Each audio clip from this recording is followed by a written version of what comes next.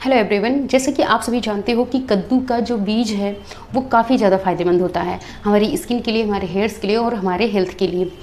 वैसे पहले मैंने इस पर वीडियो शेयर कर रखी है, जिसमें मैंने ये बताया हुआ है कि कद्दू के बीज का ऑयल आप कैसे बना सकते हो, घर पर वो भी।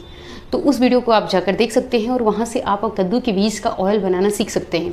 लेकिन आज की वीडियो में मैं आपको बताऊँगी कि कद्दू के बीज के फ़ायदे किस तरीके से होते हैं।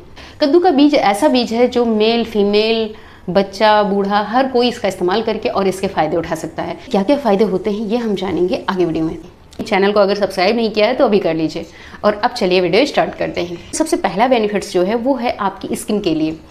कद्दू का जो बीज होता है, इसमें बहुत सारे एंटीऑक्सीडेंट पाए जाते हैं, जो हमारी स्किन के लिए बहुत ज़्यादा फ़ायदेमंद होते हैं। स्किन में कोलेजन को बूस्ट करता है इसलिए आप इसे अपनी डाइट में ज़रूर शामिल करें। नंबर टू अगर आप कद्दू के बीज का सेवन करते हैं तो आपको बहुत ही अच्छी नींद आती है।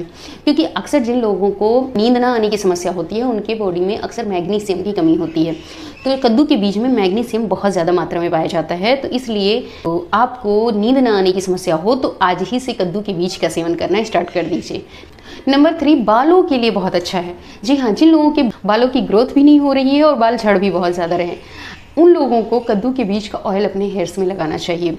एक स्टडी के दौरान पाया गया है कि कद्दू के बीज में जो है बहुत सारा मतलब एंटीऑक्सीडेंट होता है। अब इसका ऑयल जो है मार्केट से खरीदे तो काफ़ी ज़्यादा कॉस्टली पड़ता है। तो मैंने आपको इस वीडियो में सिखाया है कि इसका ऑयल आप घर पर कैसे बनाएँ। तो इस वीडियो को प्लीज़ आप जाकर चेक कर रहिएगा देखिएगा इसका मैं लिंक डिस्क्रिप्शन बॉक्स में दे दूँगी तो वहाँ से आप क्लिक करके और देख सकते हैं।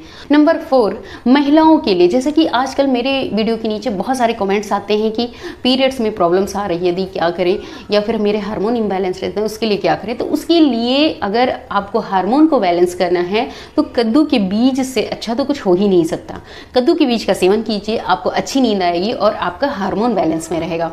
नंबर फाइव, पुरुषों के लिए भी काफ़ी ज़्यादा फ़ायदेमंद होता है, क्योंकि इसमें जिंक जो है बहुत ज़्यादा मात्रा में पाया जाता है तो ये आपकी सेक्सुअल लाइफ को बेहतर बनाता है तो इसलिए इसका सेवन आपको ज़रूर करना चाहिए। नंबर सिक्स डायबिटीज़ में फ़ायदेमंद होता है। अगर आपको डायबिटीज़ है तो आप कद्दू का सेवन कीजिए, इससे आपको डायबिटीज़ में काफ़ी ज़्यादा मदद मिलती है। स्टडी के दौरान पाया गया कि ये आपके ब्लड प्रेशर को भी कंट्रोल करता है। पाचन क्रिया के लिए भी बेहतर होता है।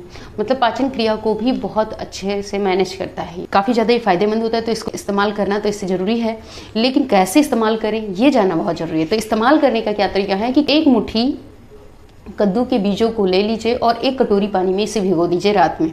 और फिर सुबह इसको उस पानी से निकाल कर और आपको इसे चबा चबा कर खाना है।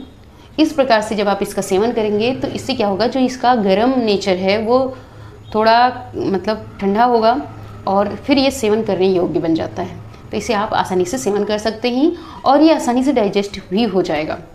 तो इस प्रकार से इसका सेवन करें। और हाँ जो इसके ऑयल हैं, कद्दू के बीज का जो ऑयल होता है, बालों के लिए काफ़ी ज़्यादा फ़ायदेमंद होता है, लेकिन इस्तेमाल करने का लोग तरीका नहीं जानते। तो इस्तेमाल करने का तरीका क्या है कि कद्दू का बीज का जो ऑयल होता है, काफ़ी ज़्यादा लिक्विड होता है। गढ़ा होता है तो इसे आप ऐसे ही इस्तेमाल नहीं कर सकते हैं बालों में, वरना बाल बहुत ज़्यादा चिपचिपे हो जाएँगे।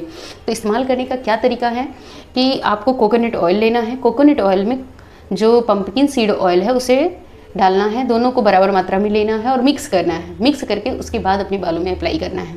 तो इस प्रकार से जब आप अपने बालों में अप्लाई करेंगे तो कद्दू के जो बेनिफिट्स हैं, वो तो मिलेंगे ही बालों को। साथ ही साथ कोकोनट ऑयल की भी जो बेनिफिट्स हैं वो भी मिलेंगे। इससे आपके बाल इतनी तेज़ी से ग्रो करेंगे और हेयर फॉल की समस्या कम हो जाएगी और हेयर ग्रोथ होना स्टार्ट हो जाएगी। लेकिन जिस तरीके से मैंने आपको बताया, इसी तरीके से आपको समर सीज़न में इस्तेमाल करना है, कद्दू के बीज को और कद्दू के बीज के ऑयल को, इन दोनों को। आज की वीडियो आपको कैसी लगी, हमें कमेंट बॉक्स में लिखकर ज़रूर बताइएगा। Thank you thanks for watching